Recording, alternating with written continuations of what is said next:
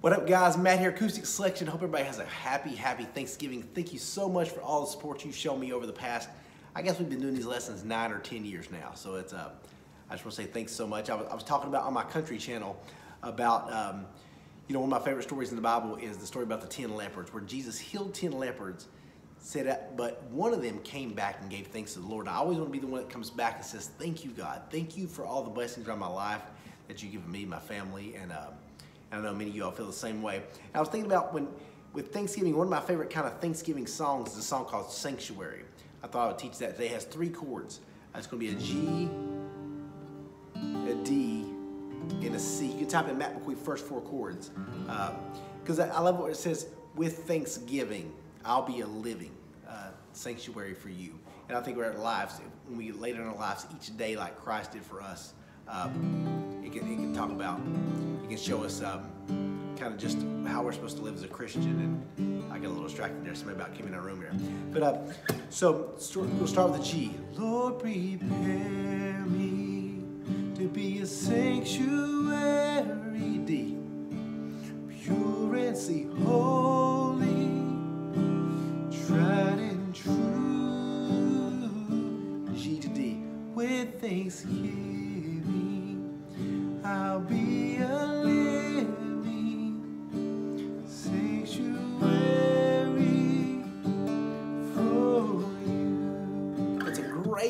first worship song if you're just starting out. A lot of people will write me and say, Matt, what's a great song to start out with? Uh, this is a great one. So again, locking those two bottom strings of the third fret. Your G is going to be the fifth and sixth. Let's strum all six. Lord, prepare me. And I tell people all the time, if you're just learning a song, start with just down strums. I'm using even no pick to kind of kind of feel the guitar and kind of get that rhythm. Lord, prepare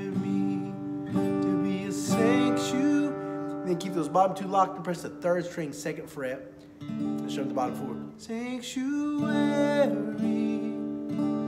pure and... Now your C is actually a C add nine, just like your G, but slid down to the fourth and fifth, and you're strumming the bottom five. So again, Lord, prepare me to be a sanctuary, pure and... It's a C.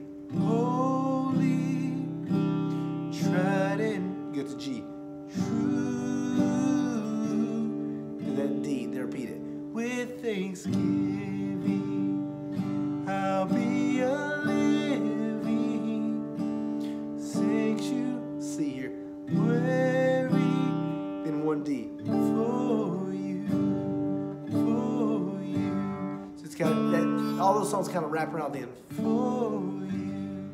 So again, here's a close up locking the two bottom strings. That's your G, all six. For your C, slide both of those down. So fourth and fifth, let's try the bottom five. And then the D is the bottom four. So all six, bottom five, bottom four. This is a great song if you're starting out. And I always tell people, don't worry about changing so fast or keeping a certain rhythm. Just go slow, do down strums, and really work on that timing. Lord, prepare me to be a sanctuary.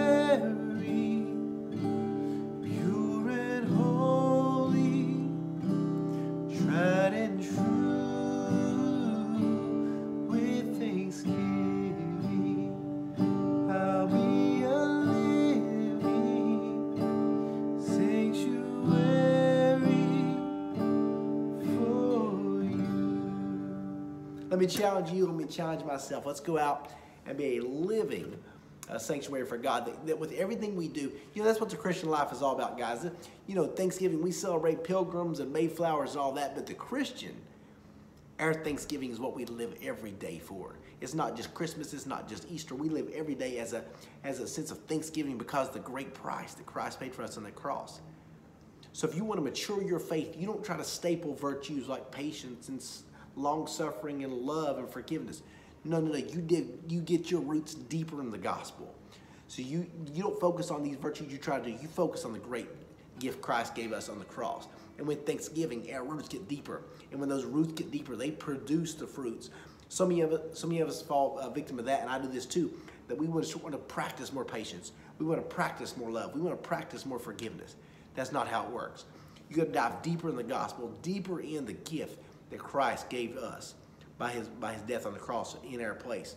And the more our roots get deeper and deeper and deeper, will produce the fruits of the Spirit love, joy, peace, and long suffering, so many things, gentleness. So let that be a challenge for you. Happy Thanksgiving. Thank you so much, guys. I love you. Most importantly, God loves you. Have a great day.